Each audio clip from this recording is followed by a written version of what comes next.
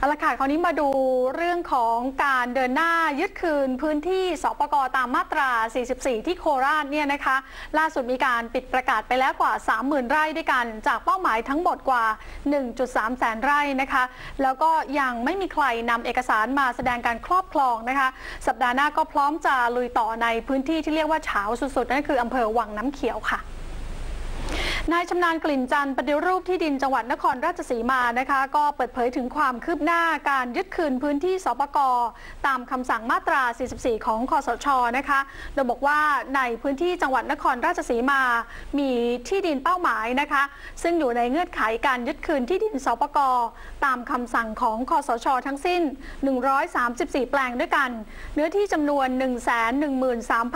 113,964 ไร่นะคะ ในพื้นที่ 18อำเภอของจังหวัดนครราชสีมา ซึ่งเป็นจำนวนพื้นที่ที่ถูกดำเนินการตรวจสอบมากที่สุดของประเทศนะคะ ว่าสปกจังหวัดนครราชสีมานั้น เดินหน้าในการทวงคืนที่ดินสปกอย่างต่อเนื่อง โดยได้มีการดำเนินการนำแผนที่ที่ดิน ซึ่งผู้ครอบครองต้องนำเอกสารหลักฐานการครอบครองที่ดินมาชี้แจง ไปปิดประกาศแล้วจำนวน 33 แปลงในพื้นที่ 3อำเภอค่ะ ประกอบไปด้วยอำเภอชุมพวง 18 แปลงนะคะอำเภอลำทะเมนชัย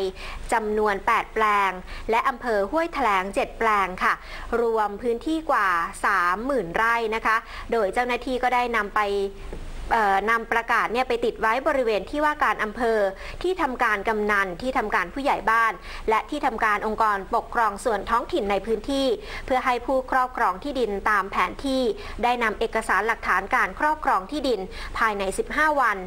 หลังจากวันปิดประกาศแต่จนถึงขณะนี้ก็ยังไม่มีผู้ครอบครองที่ดินรายใดนำเอกสารเข้ามาชี้แจง กับทางสปกแม้แต่รายเดียวค่ะ ทั้งนี้นะคะนายชำนาญก็ยังสรุปด้วยนะคะบอกว่าปัญหาและก็อุปสรรคในการดำเนินการปิดประกาศนั้น ก็คือเรื่องของระยะเวลาในการทำงาน เพราะว่าที่ดินบางแปลงนั้นอาจจะกินพื้นที่ติดกันหลายหมู่บ้านหรือหลายตำบลนนะคะ ซึ่งเจ้าหน้าที่ต้องนำแผนที่ไปปิดประกาศใน 4 จุด ได้แก่ที่ว่าการอำเภอ